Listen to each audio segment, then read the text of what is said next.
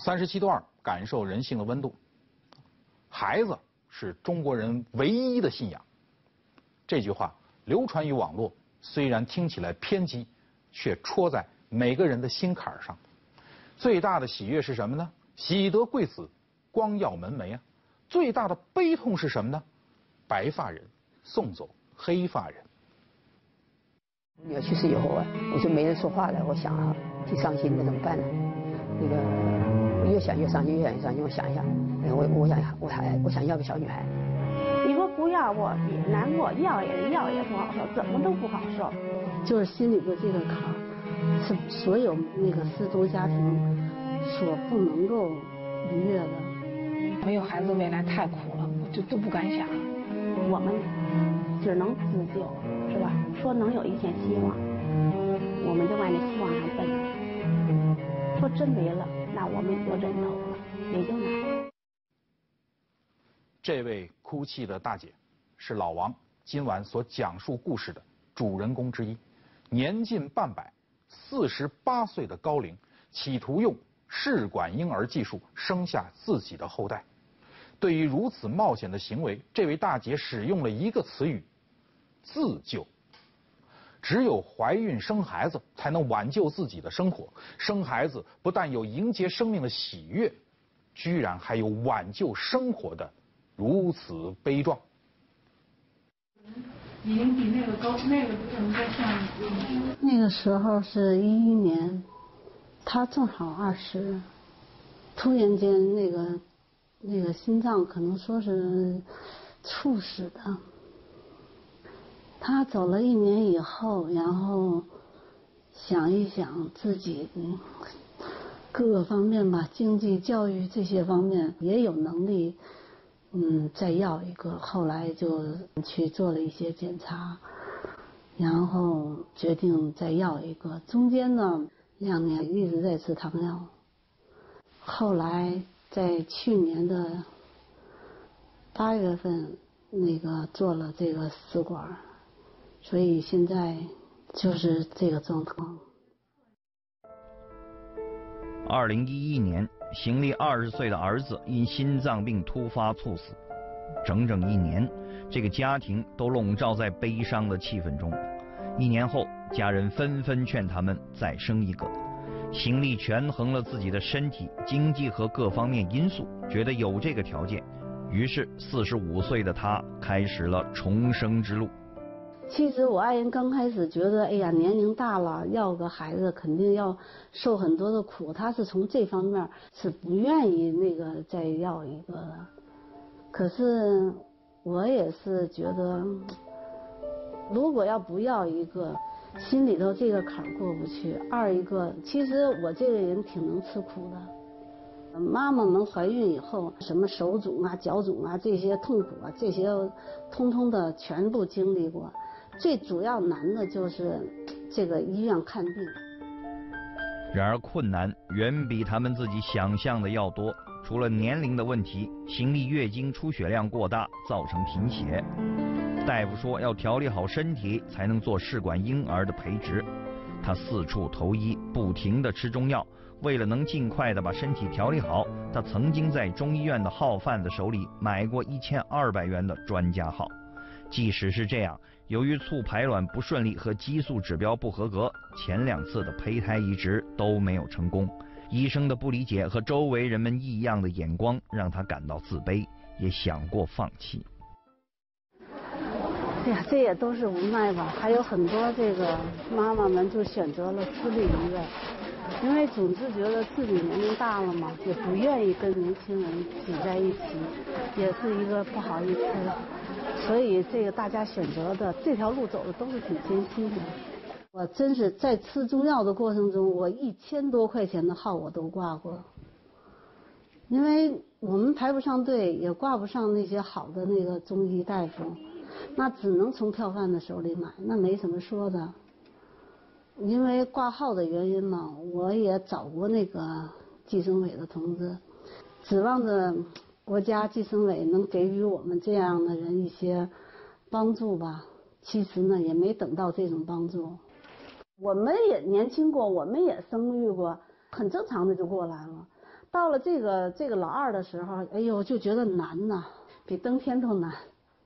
经常的为一个不值当的小事儿吓得半死。现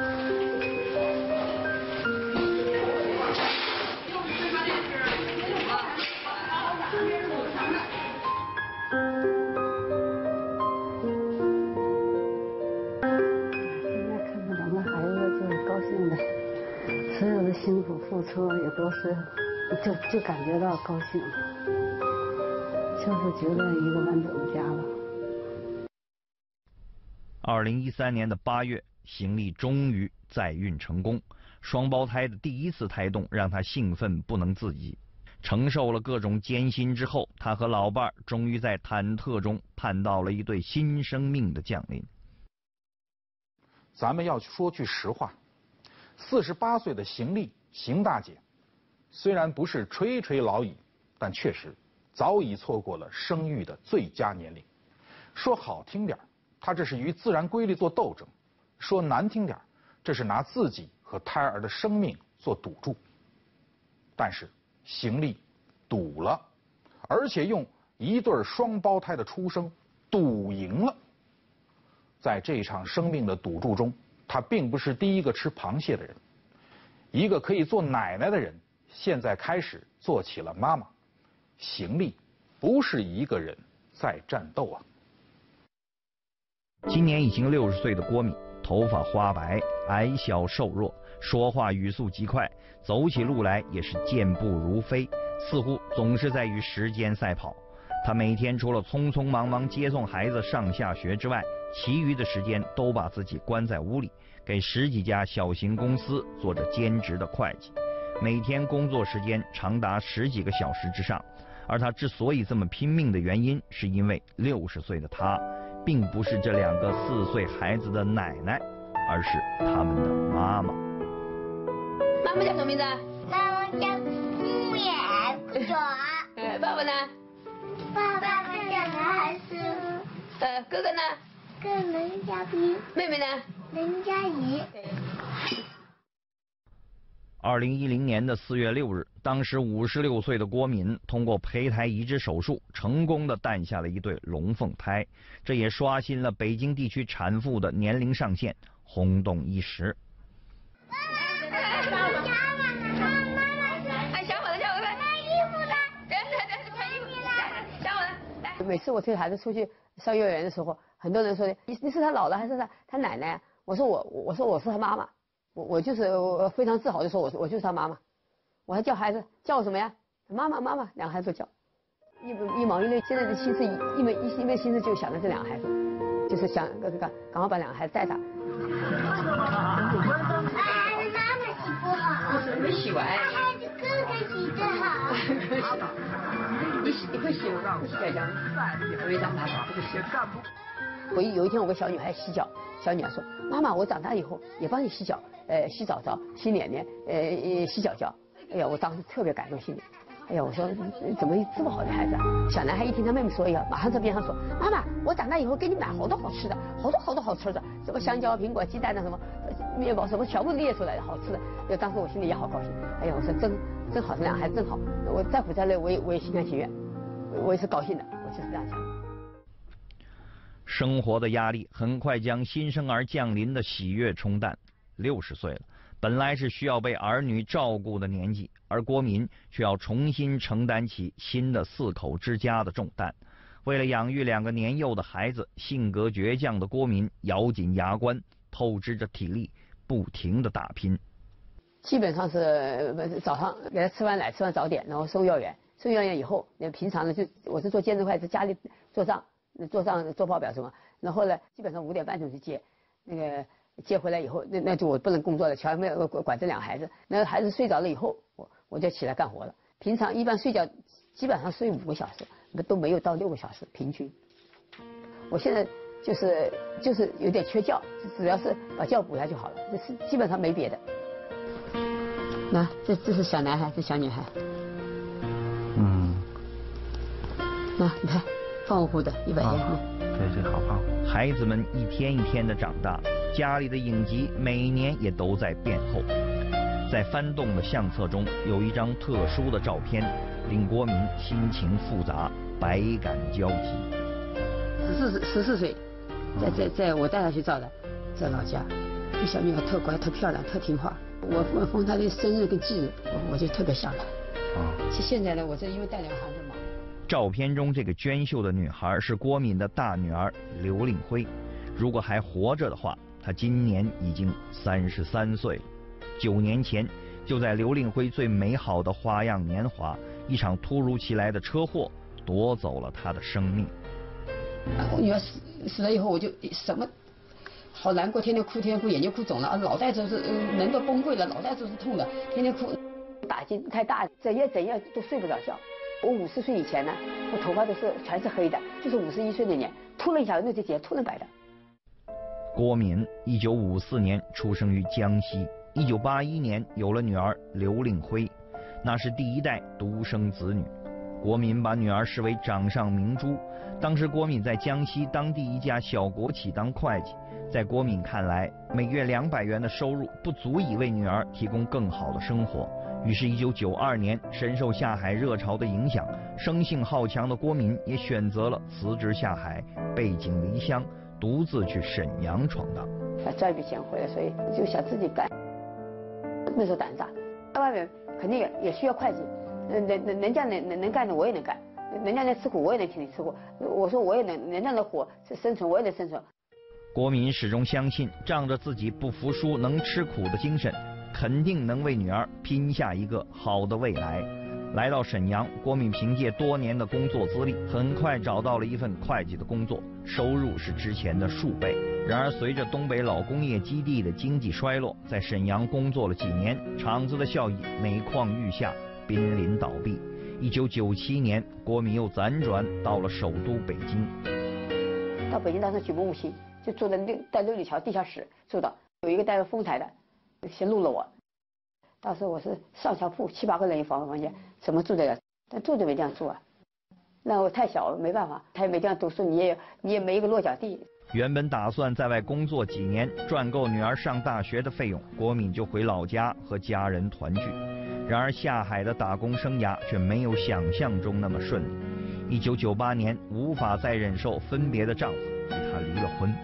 为了实现既定的目标，倔强的郭敏咬牙坚持。之后，女儿刘令辉高中毕业，如愿升学。二零零一年，四十六岁的郭敏和首钢一名职工重新组合了家庭，工作也走上了正轨。她终于在北京站稳了脚跟。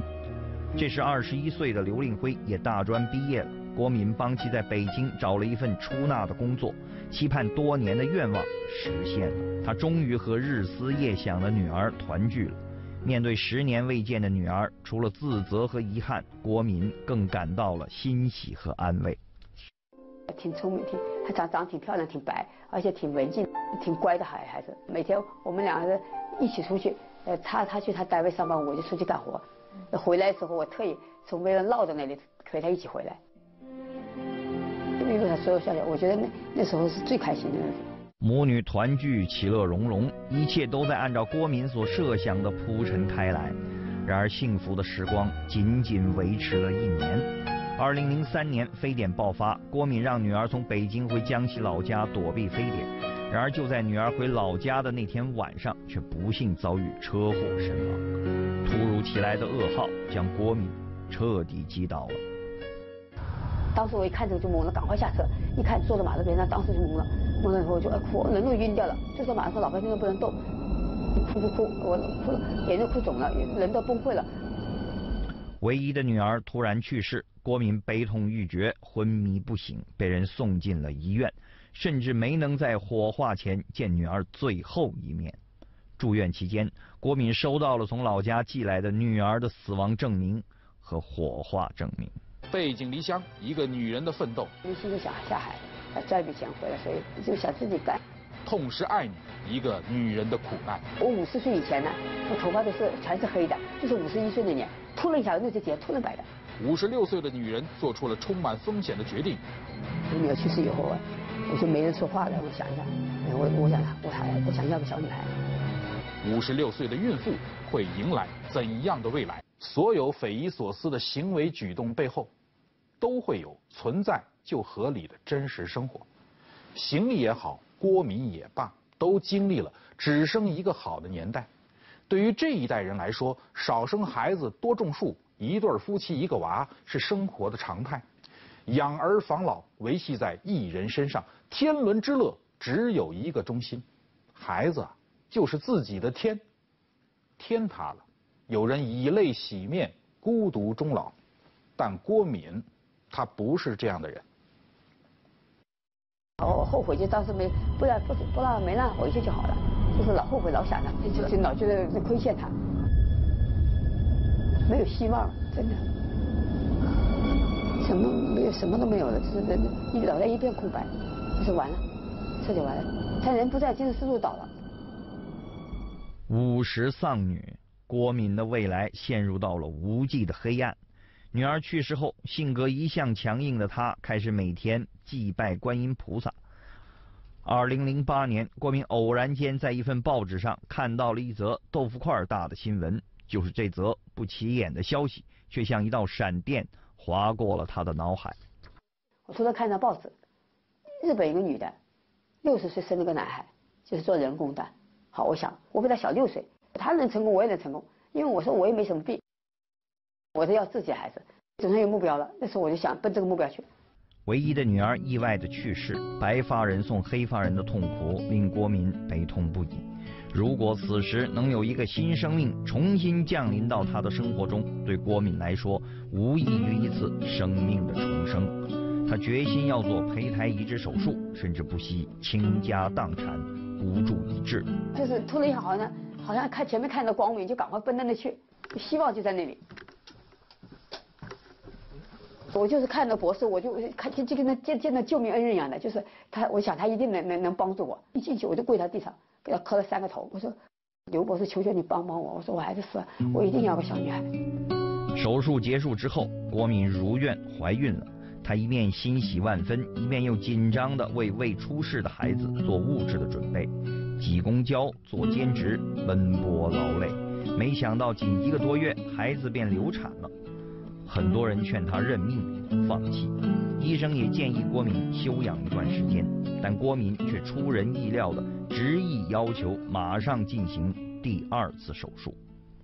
第二次做的时候，博士说：“你真坚强，你真有毅力。”郭敏，我真佩服你。博士都说这个话。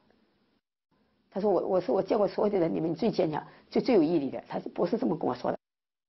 我心里想，我就不会那么倒霉嘛？总怀不上嘛，我总可以怀上吧。有了第一次失败的教训，郭敏更加小心翼翼。在第二次做手术期间，他到医院对面租了一个不到十平米的小房间住了下来，带了个床，带了个桌子、凳子，到那住了一个月。打针人家上门打，送饭人家上门送。我第一次没成功，我就找出经验来，我找出失败的呃原因。人家不吃一袋豆浆吗？我一天吃三袋。五十六岁的郭敏不惜一切代价，尝试各种各样的办法，目的只有一个。终于，经过漫长的等待。郭敏迎来了他人生中又一次重生的机会。特别紧张，我硬着头皮去吧，看看怀上没怀上。别人都先前面去，我我老在最后一个，我都不敢进门了。上楼梯慢慢慢上，走到门口我还站在门口等。哎呀，心里通通的想一想，到底怀上没怀上？嘿，我一推门一进去，那个他那个博士学生说，里面说恭喜你怀上了。我就好高兴呀，这松这马上松了一口气。我爱人知道双胞胎，他说不行，拿个小男孩，老天给你干嘛不要啊？这是两个人有个伴。作为一名高龄孕妇，国民经历了远远超过常人的严重的妊娠反应，终于在二零一零年的四月六日，五十六岁的郭敏产下了一对龙凤胎。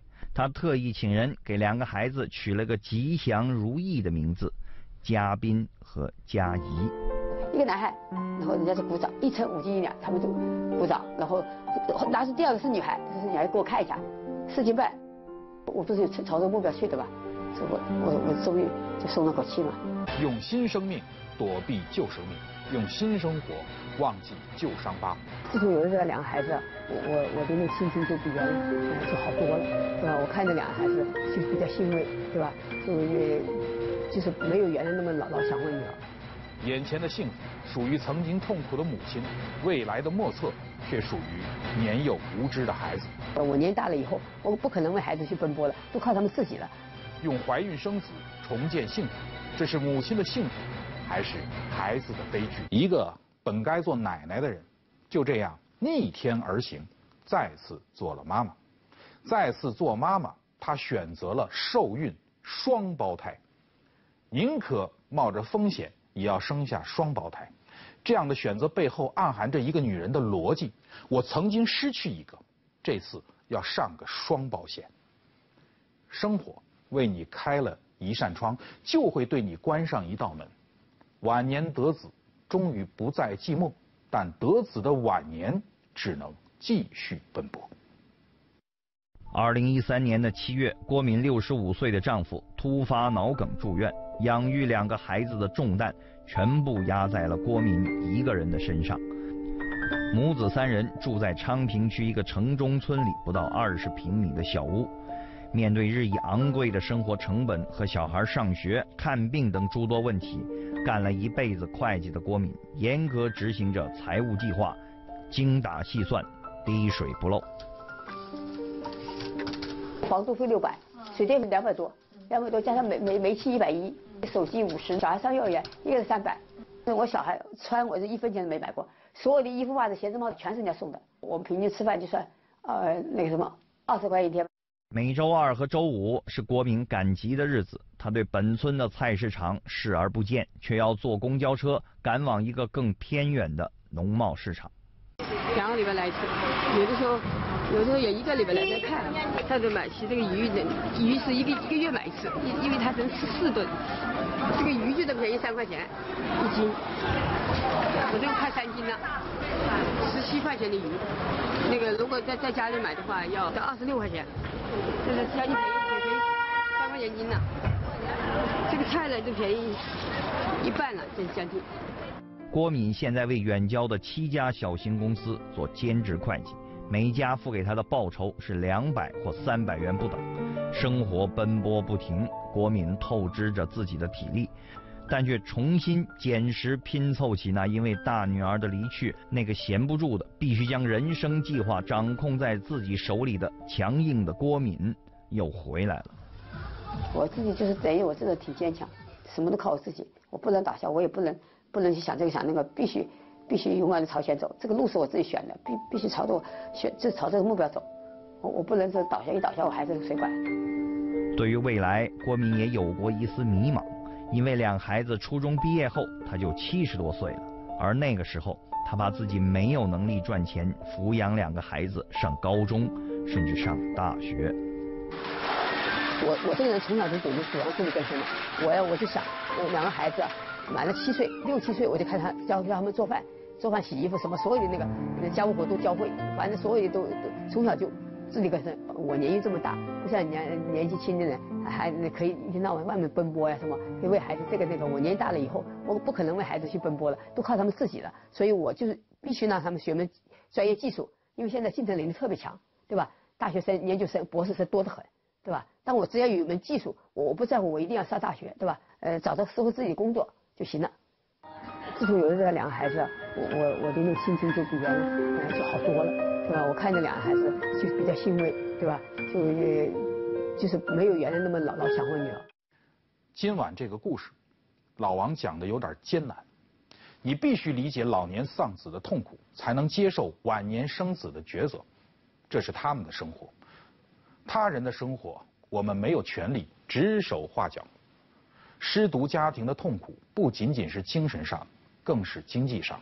当养老的风险只能由一个个原始的家庭独自承担的时候，四十八岁的邢丽、五十六岁的郭敏高龄怀孕自救，至少不是最坏的选择。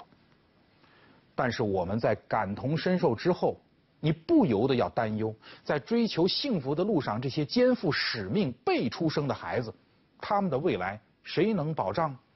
他们有可能尚未成年就必须承担赡养父母的职责，甚至失去父母成为孤儿。为了解决一个痛苦而去酝酿可能的更大悲剧，这样的战斗是为了建造幸福呢，还是为了延续苦难呢？